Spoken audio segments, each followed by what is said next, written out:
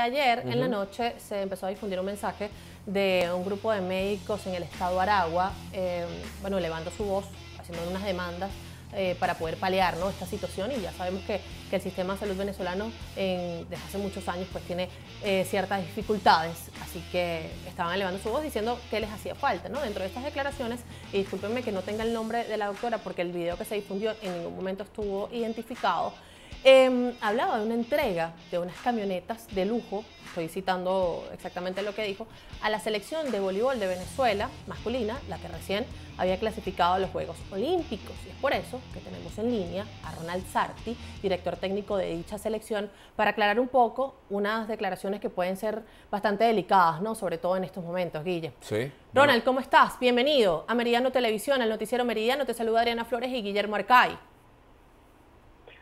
Buenas tardes, Guillermo y Adriana. Gracias por, por, por su invitación y, y, y, por permitirme este espacio para aclarar este esta situación que bien como ustedes dicen, este me molesta desde el punto de vista de la situación como tal.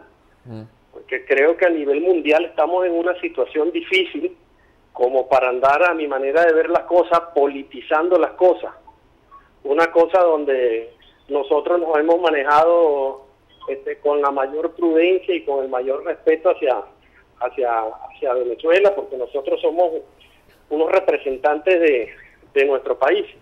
Entonces me molesta, este, porque creo que los médicos hoy por hoy este, se deben dedicar y necesitamos que se dediquen a lo, a lo suyo, este, de acuerdo a su juramento, ¿no? Que sea un juramento, el juramento que hicieron y no sea un juramento hipócrita, porque y me disculpan lo duro, pero es que me parece que no es momento y hay mucha sensibilidad en la sociedad. Este, yo tengo todos los jugadores, la mayoría estamos en, están en Europa, yo vivo acá en Argentina y, como en Venezuela estamos en, bajo las mismas eh, condiciones de incertidumbre y de una pandemia, entonces creo que no es momento para andar este, politizando cosas eh, que, que, no, a mi manera de ver, salí a aclarar rápidamente porque no, no, no, no da. Mi molestia más que todo es hacia eso, no una camioneta ni nada, porque eso es para quinto plano. Ahorita me preocupa que, que, mis jugadores están afuera, todos están resguardados, algunos están llegando y, y, y es complicada la situación. Entonces, dar eh, una declaración diciendo eso me parece una falta de respeto.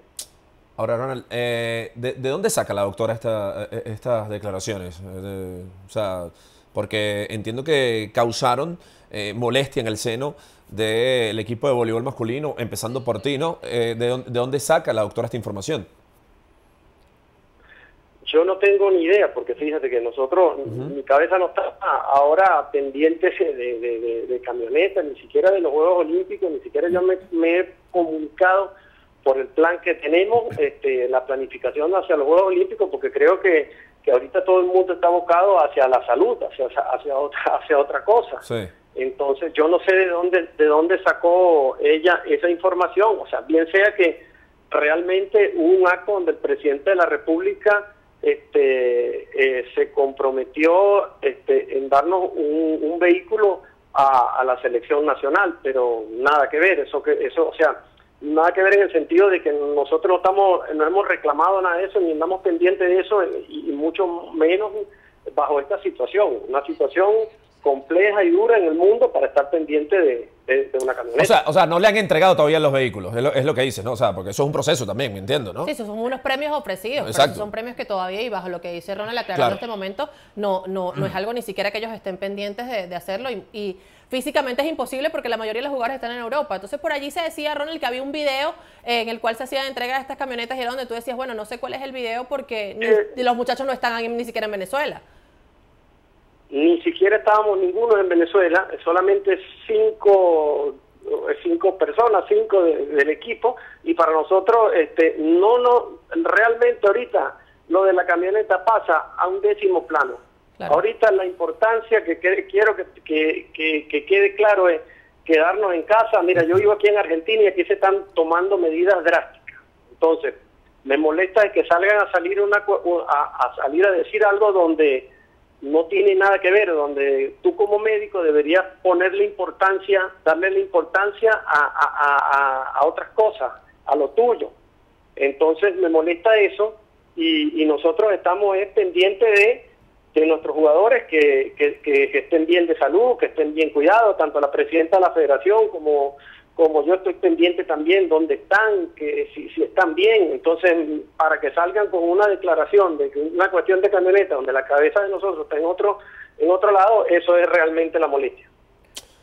Eh, Ronald, tú has tenido la oportunidad de conversar con, los jugadores, cómo se encuentran ellos ahora, bueno, hablando, hablando y, estoy de acuerdo contigo, ¿no? Ahorita la prioridad es la salud, no es un tema nada más de Venezuela, es a nivel mundial. Yo creo que, bueno, luego hacemos un comentario. Y ellos también están a la expectativa porque están clasificados a los Juegos Olímpicos. Exacto, entonces, pero luego hacemos un comentario en relación a, bueno, a esta doctora que, se expresó, que yo no sé, a veces hay que tener un poquitico de más responsabilidad, ¿no? Pero eh, eh, te pregunto, ¿has tenido, la oportunidad, ¿has tenido la oportunidad de conversar con, tu, con, con los jugadores venezolanos que hacen bien en Europa, sobre todo, bueno, y tomando en cuenta que que, la situación en algunos países es mucho más complicada que acá en Venezuela?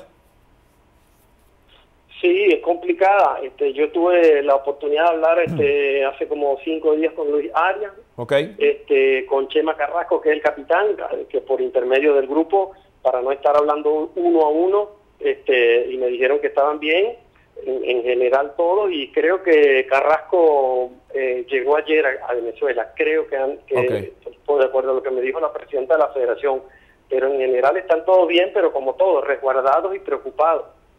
Oye, Ronald, eh, bueno, hemos visto además que los muchachos a través de ciertas cuentas eh, han promovido incluso tomar estas medidas, ellos de forma particular. Eh, de verdad que lamentamos mucho esto porque tanto el deporte como la salud son dos áreas que por mucho tiempo han elevado su voz para exigir lo que se necesita, para trabajar. Así que creo que no es momento de enfrentar dos cosas y menos cuando se empieza a circular irresponsablemente una información que no es la verdadera, ¿no?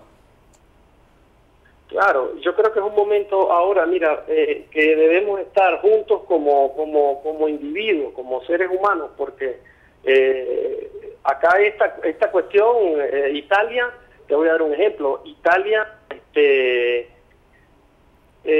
subestimó un poco eso y no les dio tiempo no, es una gripecita, que no pasa nada, que no pasa nada y ve lo que está pasando. Entonces, eh, creo que hay que dar un mensaje también, y ustedes los comunicadores es importantísimo que lo también, este, más allá de nosotros, que, es acatar las órdenes que, que, se dan desde, desde los entes que, estudian esto, que están al, tanto de toda esta situación y, y hacerles caso. Claro. Eh, una última, Ronald. Eh, ayer entrevistábamos al presidente del Comité Olímpico Venezolano, Eduardo Álvarez, y bueno, de hecho tuvo una videoconferencia y decía que este, los Juegos Olímpicos eh, a través del Comité Olímpico Internacional van o van. al menos esa es, la, esa es la posición de ayer. Conforme vayan pasando los días, no sabemos si eso va a cambiar, ¿no? Y eh, se hablaba, entre otras cosas, de la preparación de los, de los atletas venezolanos y de los equipos venezolanos, en este, caso, en este caso el voleibol masculino, que ya tenían o que ya tienen al menos un cronograma de su preparación. Te pregunto tú como director técnico de la selección, ¿ustedes han conversado en relación a esto? ¿Qué, qué medidas van a tomar? La, mm, la preparación del equipo de voleibol masculino ya estaba paga. Eh, ¿cómo, se van, ¿Cómo van a ir ustedes eh, tomando esta situación? Sí, eh, claramente, el cronograma nosotros lo tenemos, ya yo había pasado eso. El problema no es ese, o sea, ¿qué vamos a hacer con un cronograma si cierran todos los aeropuertos? ¿Qué vamos a hacer con un cronograma eh, si, si, si esta pandemia continúa? Entonces es una cuestión, como bien tú dices, de día a día. Entonces es muy difícil decir, o sea, la fecha está, la fecha de los Juegos Olímpicos está hace mucho tiempo. El problema es que con esta, con esta pandemia eh, podrá, podremos eh, llegar, se podrá controlar, se podrá buscar una solución a este tema de salud, porque más allá de lo que nosotros nosotros queremos, el, tema es que no podemos. Claro. Entonces, más allá de todo eso, es una cuestión que creo que así estamos, en esa situación estamos eh, todos los países, todos los equipos. Mm. Bueno, Ronald, te agradecemos este contacto. Quiero que sepas que, como siempre, Meridiano Televisión es tu casa. Eh, cuando, cuando desees, pues puedes eh, comunicarte con nosotros. Nosotros estaremos muy atentos. Esperemos que esto hoy, este, esta falsa información, deje de circular por el bien de, tanto el sector salud, por supuesto, como, como ustedes, porque la idea no es crear una matriz de opinión errada. Un fuerte abrazo de aquí a Argentina y bueno, eh, que los muchachos también se mantengan resguardados y acatando todas las normas. Bueno, muchísimas gracias. Espero que la próxima comunicación sea en, mejor situación. Amén. Amén.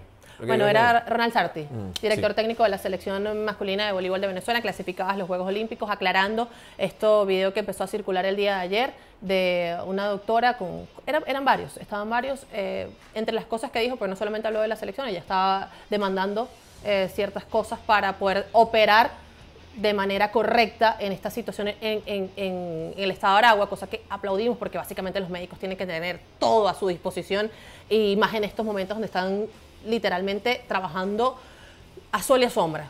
Pero hay que comprobar este tipo de informaciones porque es muy delicado, porque luego se puede transformar en bueno, una guerra contra la selección que nada tiene que ver y que fíjate que era falso. No podemos afirmar nada que no tengamos pruebas. O sea, en porque en eso nos hemos convertido algunos en, el país, ¿no? Que decimos algo sin tener pruebas. Entonces la lanzamos y, si, óyeme, y sin ni siquiera contar con qué repercusión pueda tener, con qué, con qué Y- consecuencias pueda tener. Y la persona, una de las personas que lo colocó, lo, lo voy a decir, un actor venezolano, Franklin Wirquez, Sí. que tiene muchísimos seguidores en Instagram, también hay que tener responsabilidad cuando uno tiene tantos seguidores de saber qué vas a replicar y qué no. Eh, entiendo que Franklin no es periodista, nosotros tenemos una formación para poder verificar cada información que les damos, eh, pero todos los que tienen de alguna forma el poder de poder de- de- el poder de difundir algo a través de las redes sociales, de llegarle a tanta gente, tiene que tener un poquito esa responsabilidad, porque si no puede, Sí, sí. puede desatar algo que después nos vamos a lamentar. Claro, claro, claro. Y más en estos momentos. Así es, no, y más en este momento. En este momento es muy difícil, es muy complicado, así que, pero bueno, problema solventado. Sí, bueno, aclarado. Por Lo- lo o menos. aclarado, por lo menos. Lo tuvimos Ojo, ahí. y si la doctora quiere tener. No, derecho a su- réplica. Aquí No, estamos por totalmente favor, hoy abiertos. a las 5 de la tarde y se habla de deporte. Así es. Y, y mañana hay noticiero a las 12 del mediodía. ¿eh?